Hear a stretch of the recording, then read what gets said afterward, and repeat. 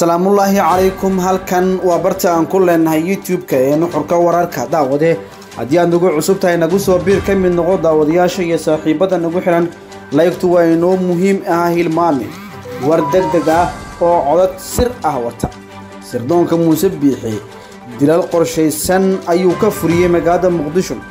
Kiiska dahableh waxa uu lugaha la galay xafiiska madaxweynaha somalilan muuse biixi cabdi xog arrinkaa daaran oo cod sir ah wadata ayaan barnaamijkan kuugu soo gudbinaya. Maxay yihiin? Labada sirdoon ee soomaaliya iyo somalilan waxyaabaha iminka ay isku diidan yihiin. Xogihii ugu dambeeyey ayaan halkan kuugu baahinayaa haddii eebba uu raalli ka noqdo. Waxaa kale oo barnaamijkan qayb ka noqonaya fatashaad hor leh oo laga bilaabay hay'adda nabasugidda iyo sirdoonka qaranka soomaalid ee nisa sanboolasho tallaabooyinka uu qaadayo iyo xogihii ugu dambeeyey qayb ayay ka yihiin barnaamijkeennan.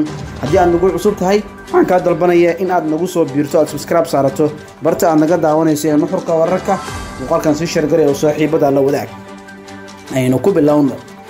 Ayaa hay'adda nabasugidda iyo sirdoonka qaranka soomaalid ee nisa cabdulaahi maxamed cali sanbaloolshe ayaa qaadaya tallaabooyin dhowr ah oo lagu xaqiijinayo amniga caasimadda iyo guud ahaan dalka. Islamarkaana lagu wiiqayo kooxaha khawaariijta al-shabaab iyo qof waliba oo dhib iyo dhibaato ku ah dalkayna cabdulaahi maxamed cali sanbalolshe ayaa tan iyo markii la magacaabay waxa uu qaaday tallaabooyin dhowr ah oo lagu najaxay kuwaas oo lagu soo qaqabtay xubno badan oo khatar ku ahaa dadka soomaaliyeed. Islamarkaana ay ahayd kor hore in laga qabto cabdulaahi maxamed cali sambalolshe ayaa waxa uu qorshuhu yahay in markaasi uu qaado tallaabooyin kale oo lagu soo dhowaanayo xaqiijinta amniga guud ee dalka. Taliyii sambalolshe magacaabistiisan ayaa ku soo aaday xilli xasaasi ah oo loo baahna.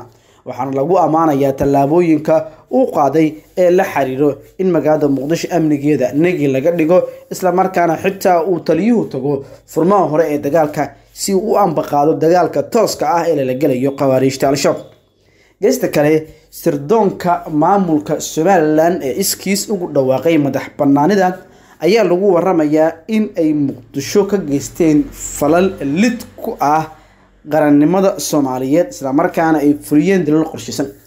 Waxaa sidoo kale la ogaaday in xubnaha muqdisho yimid ee shabaabka u sii gudbay ee somalilan ka yimid ay ahaayeen kuwa markaasi si aad ah looga warhayo xogtooda oo markaasi la dhowrsaday.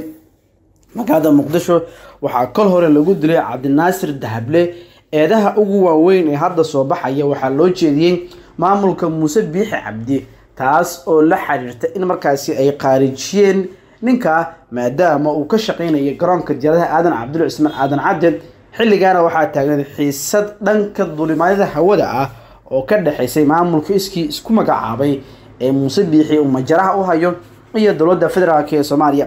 Dahable ayaa qeyb ka ahaa xirfadlayaasha arrimaha dulimaadada sida aadka ah wax kaga garanayay ama kaga ogaa waxaa dabcan la saadaalinayaa in dahable sababta ugu weyn ee somalilan loogu tuhmaya qaarijinteeda ay tahay in uu dilay dalabaad ay markaasi ka dalbadeen oo ay qeyb ka tahay inuu u soo dusiiyo koodadka xiriirka iyo kuwa la mid ah codkan sirta ah waxaa ku wada hadlaya oo ku doodaya wasiiro xubno sirdoon iyo mas'uuliyiin sarsare oo ka mid ah maamulka muuse biixi cabdi ee fadhigiisa uu yahay magaalada hargeysa. Markaad codkan dhagaysato waxaa kuu soo baxaya waxyaabo badan oo maanka bili-aadanku uu diidayo. Balse qeybta hoose ee commentiga aragtiyada noogu reeb muuqaalkan sii sheergaray oo saaxiibada la wadaag intaas oo dhan waxa lala qabanaya ee la sugaya la baarhaya muxuu yahay mar haddii laleeyahy intii waxa weye shaqo wadaagta ay haayeen nolol wadaagta ahayna isku dhawaayeen baa kiiskii la oo waxa weye iyagiiba waxa baadhis ku jira. Maxay tahay sababta waxa weeyaan intaasoo dhan loo soo saari waaye? Taasina waa mid kale oo iyada lafteedu caddaynaysa waqtigii timeka ay qaadanayso in iyaduna waxa weeyaan dabcan ay ay ay waxa weeyaan la qarinayo dabcan criminaliskii kiiskan waxa weeyaan sameeyey. Haddii dhan kale aynu ka eegno waxaan ognahay haddii cid la soo qabto baadhis waxa weeye lagu samaynayo in within twenty four hours maxkamad lagu geeyo even xataa haddii kiiska waxa weeyaan uu caddaanayo xeraalinta waxa la horgeeyo. Tiina ma hayno. Oo waxa maalintii dhaweytoolo oo mooyaan dhibaatadan ay soo baxday iyo in dadka waxa dhibtan lagu hayo xildhibaanadu waxa halkaa ugu tegeen ay ay maxkamadda la geeyey oo taana anu aanu arko shaksiyan qowda maqashay waxna u qabantii soomaalidu waxa ay sheegaysay. Waxaa kaloo iyaduna halkan imka aan ka arkaya in la leeyahay oo kiiska waxa lagu hayran xildhibaan samsam gobson oo iyadu waxa weeyaan matalaadda waxa weyan halkaa ku leh oo tiri kiiskan inamadu waxba kuma leh. In la idhaa iyadu waxa weeyaan sidee u hadashay? Taasina waxa weyan waa carjuuq dheh. Waa mid kaloo iyada lafteedu iftiiminaysa maamulka waxa weyan halkaa ka jiraa sida uu waxa weeyaan dabcan ugu tagrifalayo cidda waxa weeyaan awooddaa u imatay oo waxa weeyaan dabcan jariimooyin kala duwanna waxa weeyaan soo gaadhsiinaysa kiisaska noocan oo kalena wax cusub ma wax hore uga dhacay way dhacday tani wayna dhici doontaa oo waxa weye wax joogsanaya maaha. Taasina waa mid waxa weyan halkaa ka haran qaaday oo aan guud ahaan dabcan inta mandaqada ku nool geeska aan lagu ogeyn. Marka waxa ku soo koobaya waxa weeye arrintani warkiiskan idinku waxba kama qaban kartaan intiina halkan jooga. Nin kaloo hadlayna ma qarin karo dhiiguna isma qariyo.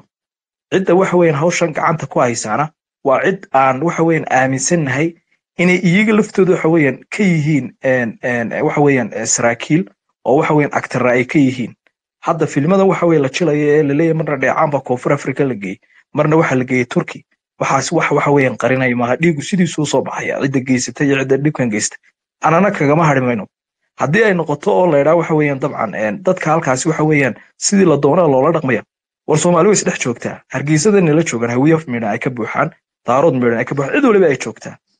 Ciddii markaa waxa weeyaan dabcan halkiimusrino halkii baad ku soo laabatay ii kaada shakuro waa kuusoo koobayaaba macno badan ma samaynayso de inaad tidhaahdo dadka islaynaya iyo waxyaabahaas xildhibaan gobsonna xaq uma laha kiis aanay iyadu qareen ka ahayn ama aanay qaadi ka ahayn in ay tidhaahdo inay xukunto dad aan kiiskooga weli looyaradiiba halkan fadhiya oo ka cabsanaya inay wax ka idhahdaan maxadale iyadoo xildhibaan ka baxsan ba xitaa waa sharci dejin weeyaan iyadu way ka baxsan tahay hawshanba way ka baxsan tahay xitaa looyarba xitaa lama odhan karo way tahayo. Looyarka laga yaaba inuu dhegadhegeeyo waxuu ogaan karo wax. Laakiin iyadu xitaa xayndaabkaba kuma jirtaba marka inay tidhaahdo dadkii weyaan run ahaantii shakur aan kuusoo koobo waad kolley ka hoos baatoo dee adiga dabcan dee ka hoos aba eeg waxaa jirta waxa weeyaan shakurow horta xildhibaan gobson markaad leedahay xaq uma laha xaq way u leedahay because dee iyadu waxa weeyaan halkaa iyada kumatisha marka inay kiiskooda waxa weeyaan ay wax ka ogaato oo ay waxa weeyaan dabcan hadba halkay wax marayaan xaaladda ay la socoto. De haddaad tiraahdo waxa weeyaan ma samaynayso. De anu kaama aqbalayo. Laakiin waad odhan kartaa shaqada waa la kala leeyaho haddii dee xeer ilaali noqoto iyo hadday hawlaha noqoto taa waad odhan kartaa. Laakiin iyadu xaq uma laha ima odhan kartid sababtoo ah wade waa xildhibaankii matalayay oo taasi waxa weeyaan waxba kama jiraan weeyaan. Arrintan kale leedahay halkiibaad gashay aniga waxa ii tahay uun qofka halkan doonaya inuu ruuxan siyaasa ruuxan siyaasadeed uu ku qoriyo ama fashil cidda uu taageeraya waxa weeyaan ka yimid. De waxaan anigu sheegaya oo keliya oo run oo xaqiiqa ah war in meel walba la wada joogo.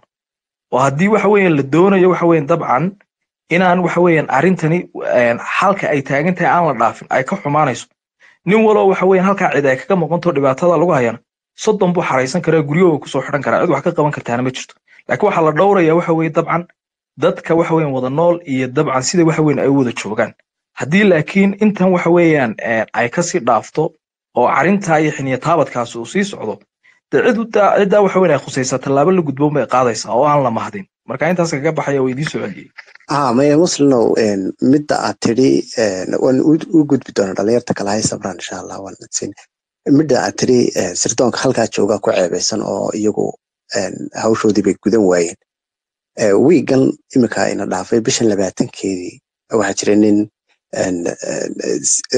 waday diyaaradda helicoptera oo dagaalkan ukraine iyo ruushka oo ruushka ka soo jeeday oo ku dejiyey ukraine dhexdeeda magangelyana wey in aad subscribe tirahdo barta aad naga daawanaysa ee nuxurka wararkana waa inoo muhiim